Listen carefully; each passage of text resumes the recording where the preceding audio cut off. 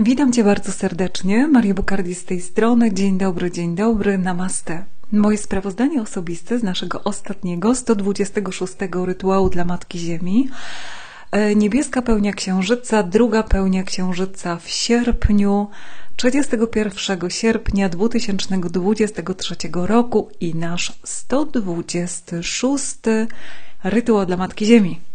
1, 2, 6. Te osoby z Was, które biorą udział w ceremoniach, mają to już w jednym palcu, czyli jedynka, mak, dwójka, arcykapłanka, szóstka, kochankowie, dwanaście, wisielec i znowu sześć. Bardzo wyjątkowy rytuał dla Matki Ziemi, ponieważ tak jakbyśmy zrobili trzy kroki wstecz, aby zrobić kolejny krok do przodu. I teraz tak, Wiele osób z Was odczuwa w ostatnim czasie takie niesamowite zmęczenie, brak ochoty do działania, brak motywacji, taką tak jakby nagle tylko chcieć spać i spać i spać, albo odczucie zwątpienia, wątpliwości w siebie, wątpliwości w ten świat, wszechświat, wątpliwości w swoje własne plany, marzenia i wizje. Tak jakbyśmy zrobili taki, o, taki krok do podziemi, żeby się znowu odbić od dna i wypłynąć. Tak można to opisać w energii i takie są wibracje wokół nas. Można powiedzieć, że jest to kolejny etap, przez który przechodzimy wspólnie, teraz w tym czasie apokalipsy, pewien etap, że musimy do czegoś wrócić, coś przepracować, od czegoś jeszcze uwolnić, taki powrót, jak gdyby, do poprzednich inkarnacji, powrót do poprzednich sytuacji, na które patrzymy dzisiaj z innej perspektywy i z inną świadomością. I dlatego ten 126 rytuał dla Matki Ziemi był taką, tak jakby wrócić do tego, co było kilka lat wcześniej. Jeżeli jesteś osobą, która słucha mnie cały czas na bieżąco i słucha wszystkich sprawozdań z rytuałów dla Matki Ziemi, to wiesz, że mniej więcej od listopada 2022 były zupełnie inne spotkania niż wcześniej. I teraz nagle wracamy do tego, co było kilka lat wcześniej, żeby na to popatrzeć inaczej. I można powiedzieć, że wielu, wielu z Was to odczuło. Ja jeszcze nie miałam okazji, aby przesłuchać albo żeby zobaczyć, przeczytać wszystkie Wasze sprawozdania, które wysłaliście mi na maile. Tak jak jeszcze nie miałam e, tego czasu, możliwości, aby przeczytać wszystkie życzenia, które żeście mi wysłali, życzenia urodzinowe, za które bardzo, bardzo dziękuję. Tam skrzynka jest pełna. Ja myślę, że tak do trzech tygodni mi to zajmie, żeby odpowiedzieć chociażby serduszkiem i podziękowaniem na każde z tych życzeń. Ale tutaj ogólnie bardzo, bardzo dziękuję za pamięć i, no i za każdy miły gest. To jest no, no niesamowite jest to odczucie. E, gdy były wczoraj moje urodziny i czyli 1 września, ja się obudziłam rano, włączyłam telefon, a tutaj po prostu bez, bez oczywiście dźwięku, bo ja mam powiadomienia, wyłączony dźwięk, ale cały czas tylko klik, klik, klik, klik, klik, klik, klik, klik. To było takie odczucie takiego wzruszenia, takiego niesamowitego. Gdy potem jeszcze zobaczyłam to wszystko, co, co żeście mi powysyłali i, i, i jaka, jaka energia z tego przepiękna płynęła, to to był przepiękny, przepiękny dzień. E, I dzień tak e, wypełniony emocjami, że z jednej strony ta radość, a z drugiej strony popłakałam się tam kilka razy, jak przeczytałam kilka listów. No więc niesamowite emocje, takie ludzkie, szalejące na każdym poziomie.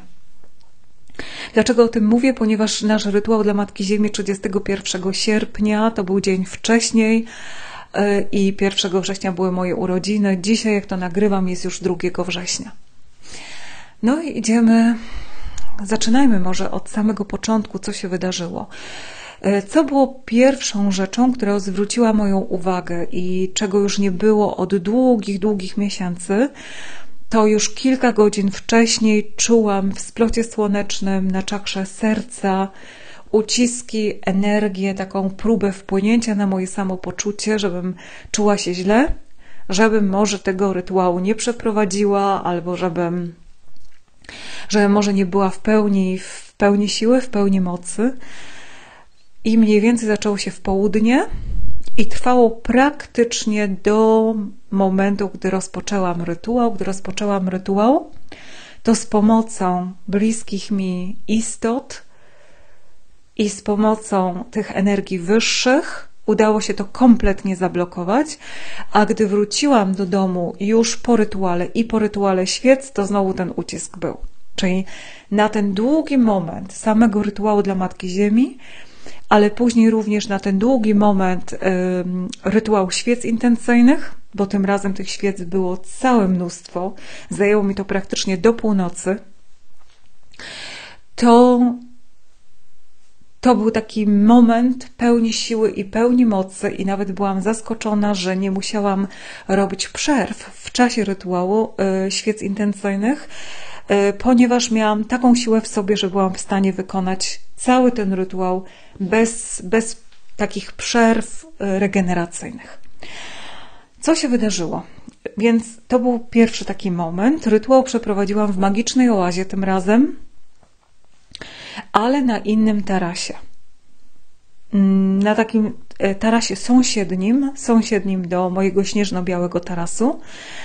No i gdy rozpoczęłam rytuał, e, gdy stworzyłam magiczny krąg, to widziałam, że już istoty wyższe czekały na mnie, również wojownicy światła byli obecni, ale za naszym kręgiem, czyli mój krąg, w którego ja jestem w środku, który również obejmuje uczestników, zwykłych, normalnych uczestników rytuału. Później jest krąg e, tych istot wyższych i za nim ten krąg zewnętrzny to jest krąg wojowników. To za tym kręgiem wojowników było po prostu czarno. Czarno. I nie ma się co dziwić, że tak niektórzy z Was się czują. Nie ma się co dziwić, że takie energie energię zwątpienia, strachu, niepewności, takiego wręcz sparaliżowania w pewnych działaniach mogą się u niektórych osób z Was pojawiać, ponieważ tak teraz tutaj na Ziemi wygląda w tym momencie. I w, tej, w tym pierwszym odczuciu pomyślałam sobie: ojej, co się będzie działo, co się będzie działo, jak ten nasz rytuał będzie wyglądał, jeżeli tutaj już jest taka po prostu inwazja, no wszystko czarne, wszystko ciemne i wszystkie te istoty no na pewno nie były przyjaźnie do nas nastawione, a nas jest tak mało w porównaniu z nimi. Ale odrzuciłam te myśli i pierwsze co, spotkałam się z moim przewodnikiem. Oczywiście przywitałam wszystkie te istoty wyższe. Spotkałam się z moim przewodnikiem, a on powiedział tylko tak, że mam popatrzeć oczami mojej duszy na całe otoczenie. I pierwsze co, popatrzyłam, a pod moimi stopami było pełno nasionek drzewa laurowego. Jeżeli znasz yy, owoce awokado, to nasionka drzewa laurowego wyglądają dokładnie tak samo, tylko w miniaturce y, i mają tak samo taki miąższ, bardzo, bardzo aromatyczny i w środku taką bardzo twardą pestkę. I pierwsze, jak zobaczyłam te nasionka, powiedziałam: Wow, przecież ja stanęłam dokładnie pod drzewem laurowym. A ty wiesz, że na naszych ceremoniach bardzo często prowadziłam i prowadzę te ceremonie pod drzewem awokado albo w otoczeniu drzew laurowych. Na jednej z tych ceremonii mówiliśmy o drzewach laurowych również. Jak sobie wpiszesz na mojej stronie bukardimaria.com w polu y, wyszukiwania E, drzewo laurowe albo drzewa laurowe, to powinno wyskoczyć to w wynikach wyszukiwania, która to była ceremonia dokładnie.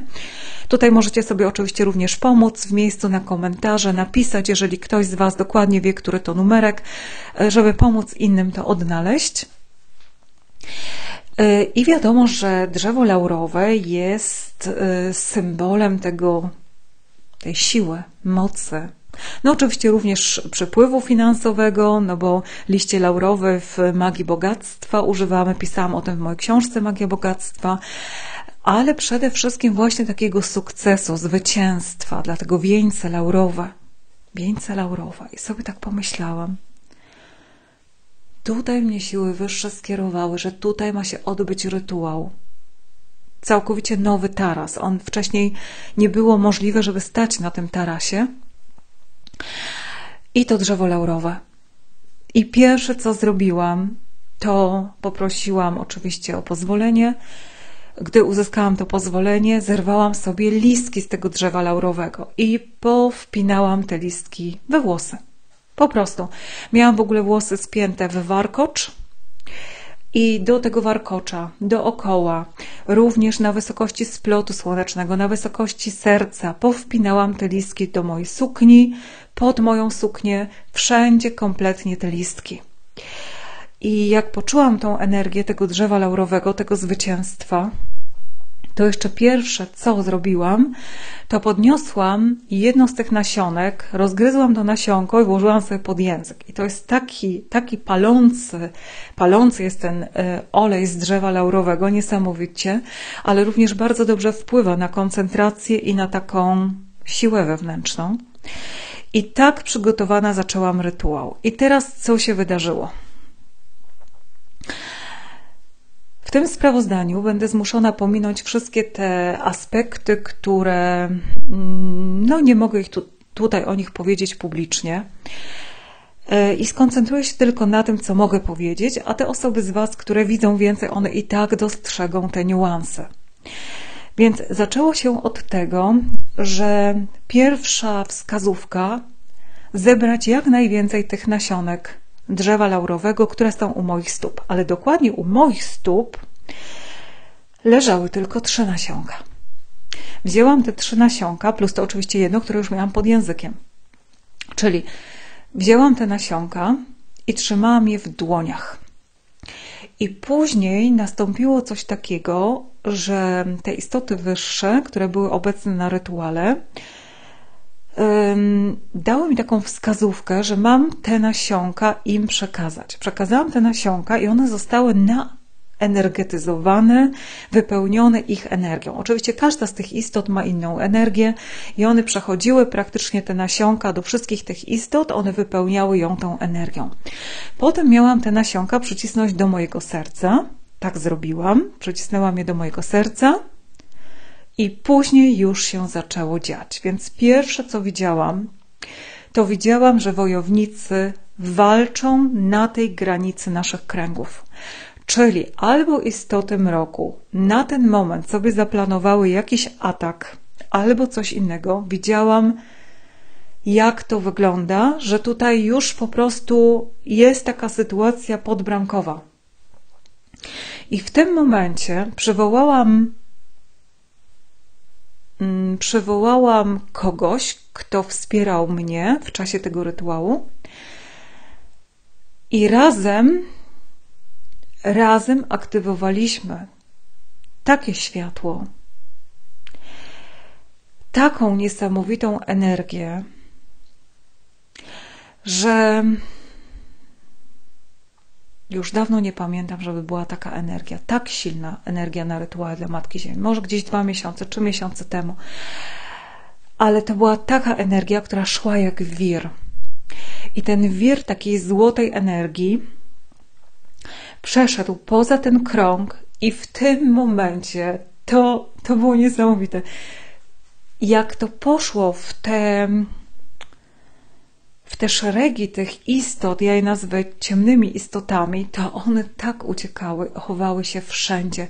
Normalnie do mysiej dziury, czyli do każdej szpary, gdzie tylko to było możliwe w ziemi, one się chowały, a ta energia szła, szła, szła takimi okręgami niesamowitymi i doszła do granicy lodu. Odbiła się od tej granicy lodu i z powrotem. A ja już w tym momencie aktywowałam kolejną, czyli to było tak, że ta dochodziła do granicy lodu, odbijała się, a w tym momencie już szła następna fala. Już następna fala. I potem, w momencie, gdy rozbiłam te szeregi, które były wokół tego kręgu, wysłałam taką energię tej spirali, tej złotej spirali w górę. I otworzył się portal. Otworzył się portal, przez który mogliśmy uzyskać wsparcie od istot z innych przestrzeni, tych przestrzeni, które możemy je nazwać takim naszym językiem, z innych planet czy z innych galaktyk. I wtedy, gdy to wsparcie nastąpiło, to już było kompletne naświetlanie Ziemi. Kompletne naświetlanie Ziemi.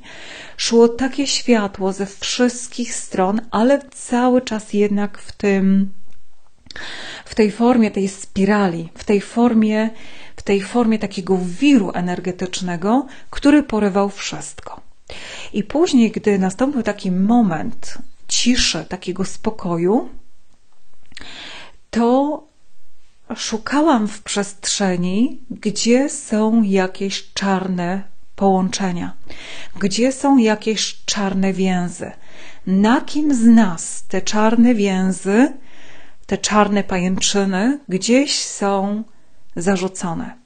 No i od razu zlokalizowałam bardzo dużo takich miejsc i typowo potem z mojego serca szła ta energia, żeby rozbijać te pajęczyny. I teraz jak to wyglądało?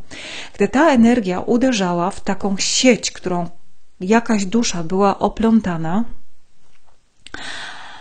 to w tym momencie ta sieć się rozbijała na kawałki i ta energia, którą wysyłałam, ona zaczynała spalać te kawałki z prędkością światła, ale jednocześnie całą tą energię negatywną, którą ktoś był splątany, zbierać jak gdyby w jedno, czyli w momencie spalenia zbierać ją w jedno i potem całą taką dawką uderzało to do nadawcy albo do nadawców tej energii. To był niesamowity proces, niesamowity. I tylko u jednej, jedynej istoty, tej mi najbliższej istoty, tam ta energia się rozpadła całkowicie i się unicestwiła, nie wróciła do nadawcy. Natomiast u wielu, wielu uczestników, u mnie samej, yy, u wielu, wielu świetlistych dusz, wszędzie ta energia wracała do nadawcy. Tak jakby to było na takiej zasadzie, żeby dać komuś nauczkę, tak można to powiedzieć, żeby odczuł sam to, co wysłał. Niesamowity proces. Potem była mniej więcej godzina 21 e, u mnie, czyli 22, 22 czasu polskiego i poczułam oczywiście, że zaczęły bić dzwony, zaczęliście uczestnicy łączyć się ze mną. To był też przepiękny taki moment, chociaż już ta najważniejsza rzecz została wykonana, to jednak ta nasza wspólna energia płynęła na to, aby, aby jeszcze zasilić to dobre, to piękne tutaj na ziemi, to pozytywne. I jeszcze może na samym początku o tym zapomniałam powiedzieć, czyli ja miałam w dłoniach te nasionka. I zanim w ogóle aktywowała się ta energia, to ja rzucałam te nasionka obok mnie, jak takie bomby światła. Czyli z tą energią tych istot wyższych, tak w ogóle się zaczęło rozbicie tej inwazji istot mroku, tak została ona rozbita, że padały bomby światła. Tak to mogę powiedzieć takimi zwykłymi słowami. Czyli te nasionka zamieniały się w bomby światła, bo one były naładowane tą energią. One są bardzo, bardzo twarde, czyli rzucając je nawet o beton czy o kamienie, im się nic nie dzieje. I w tym momencie tego uderzenia było to uderzenie tej energii, uderzenie tej energii światła i rozprysk tego światła, który te kręgi tych istot demonicznych zmusił do odwrotu. Tak to wyglądało, tak się w ogóle zaczęło, i później dopiero była ta spiralna energia rozbijająca tą resztę, czy przeganiająca tą resztę. Dlatego widzisz, że ten rytuał dla Matki Ziemi był znowu walką. Walką z inwazją mroku. Mimo tego, że muszę Ci powiedzieć, że byłam pewna, że mamy to już za sobą, a jednak nie. Że jednak znowu jakiś proces tutaj nastąpił, który powtarzał coś, co było obecne ileś tam lat temu. I teraz, gdy zakończył się cały ten proces, zakończyło się to nasze całe spotkanie, to ja jeszcze dostałam wskazówkę, że mam pozbierać wszystkie możliwe nasionka, które są na tym tarasie. Wszystkie te nasionka, które nawet są poza granicą mojego kręgu, że mam je wszystkie zebrać i teraz już nie energią tych istot wyższych, ale tą własną energią, która jest we mnie, je naenergetyzować i zrobić to samo, czyli rzucić w tym kierunku, w tym kierunku, w tym kierunku, żeby ta energia się rozprysła, czyli w momencie uderzenia z ziemi, o ziemię, żeby cała ta energia wchodziła do ziemi, ale również na zewnątrz, tak jakby się rozpryskiwała w przestrzeni. I tutaj udało mi się już kilkanaście tych nasionek zebrać i wysłać w ten sposób. I to był ostatni etap naszego całego rytuału. Czyli zwróć uwagę, że bardzo dziwny rytuał. Bardzo dziwny, tym naszym ludzkim myśleniem, bardzo dziwny, zagadkowy, ale myślę, że każdy z nas, kto widzi, co tutaj się dzieje i odczuwa to na sobie, co tutaj się dzieje, to teraz bardziej jest w stanie zrozumieć, jakie energie tutaj są wokół nas, jak one na nas wpływają. 21 minut teraz, wszechświat. Idziemy dalej. Po rytuale dla Matki Ziemi miał oczywiście miejsce rytuał świec intencyjnych. Jeszcze nie mam wyników, ja dopiero dzisiaj pojadę po te wyniki, dzisiaj wieczorem. Także jak będę miała tylko te wyniki, to oczywiście zaraz je wyślę do każdego z uczestników. I to był też bardzo piękny rytuał świec intencyjnych, bo było bardzo dużo różnych intencji. I to też było coś innego niż w ostatnich y, miesiącach, ponieważ w ostatnich miesiącach zazwyczaj koncentrowały się świece intencyjne na ochronie, oczyszczeniu i wymierzeniu boskiej sprawiedliwości, ewentualnie oczyszczeniu karmy czy oczyszczeniu linii krwi. Natomiast na tym rytuale była pełna różnorodność wszystkich możliwych intencji, czyli i zdrowia, i w intencji dusz, które, które odeszły, i w intencji oczyszczenia oczywiście, ale także miłości, przemiany, połączenia z danym aniołem, archaniołem, mądrości wyższej, aktywacji talentów wyższych, pełna różnorodność, pełna różnorodność. Oczywiście również bogactwo, obfitość, również to bogactwo y, w sferze finansowej, nie tylko w tej sferze duchowej czy innej cała gama wszystkich, praktycznie mogę powiedzieć, że chyba wszystkie rytuały świec intencyjnych, które są opisane na mojej stronie mariabukardi.pl były w czasie tej pełni obecne. A ich jest tam chyba z kilkanaście różnych, jak, jak nie więcej. Także to była niesamowita różnorodność, przepięknie to wszystko wyglądało. Jak e, wyszłam z mojej pierwszej świątyni i patrzyłam przez okna, takie duże okna, mam takie na 2,5 metra wysokości, to jak patrzyłam w tej ciemności, ten taki księżyc niesamowity, super księżyc, który wy, wyłaniał się z chmur i, i takie rozświetlenie tej całej świątyni tymi, tymi świecami we wszystkich możliwych wibracjach, we wszystkich możliwych kolorach, to wyglądało tak pięknie, tak wyjątkowo. Niesamowicie. No zupełnie inaczej to wygląda niż jak jest przewaga świec e, czarnych, czy przewaga świec niebieskich, czy przewaga świec fioletowych, które, które mają tą konkretną intencję, albo przewaga świec białych. Zupełnie inaczej to wygląda, jeżeli są świece we wszystkich możliwych kolorach, we wszystkich odcieniach, bo oczywiście każdy kolor jest dopasowany do danej intencji, do danego rytuału, do danej sytuacji, do danej energii. E, no, prze, przepiękne, przepiękne odczucie, przepiękne takie wrażenie, że było mi trudno zostawić to wszystko i, i wracać, e, bo tak stałam przez dłuższy czas i, i patrzyłam, patrzyłam jak, jak to niezwykle magicznie wygląda. Dobrze, to wszystko, co chciałam Ci powiedzieć na tym dzisiejszym sprawozdaniu z 126 rytuału dla Matki Ziemi 31 sierpnia 2023. Ile to już lat, te nasze rytuały? Bardzo, bardzo długo. Bardzo długo. Zobaczymy jeszcze, jak długo, ile lat jeszcze to wszystko potrwa, ten cały proces tutaj na Ziemi. E, jeszcze może jedna malutka informacja. Nie było kolejnej ceremonii przed tą pełnią księżyca. E, ja na początku myślałam, że będzie, ale jednak te przesłania jeszcze z tej poprzedniej ceremonii, one są nadal aktywne. Jeszcze żeśmy ich nie przepracowali, jeszcze żeśmy ich nie wdrożyli i dlatego nie ma nowych, nie ma kolejnych. Ja myślę, że dopiero teraz przed kolejną pełnią księżyca te następne przesłania się pojawią. Będę Cię informować na bieżąco e, w postaci mojego newslettera, ale również na moim blogu bukardimaria.com. Jak będzie kolejny temat ceremonii, to w zakładce aktualne będzie o tym informacja. Do zobaczenia, do usłyszenia. Życzę Ci wszystkiego, co najpiękniejsze w tym trudnym i ciężkim czasie dla każdego z nas. I widzimy się wkrótce, słyszymy się wkrótce. Do zobaczenia, do usłyszenia. Twoja Maria Bukardi. Nadszedł teraz moment, aby sprawdzić, czy już subskrybujesz mój kanał i czy masz aktywne powiadomienia, aby nie przegapić żadnych nowych treści i żadnych transmisji na żywo. I może dokładnie teraz masz już ochotę napisać komentarz pod filmem, będzie mi bardzo, bardzo miło.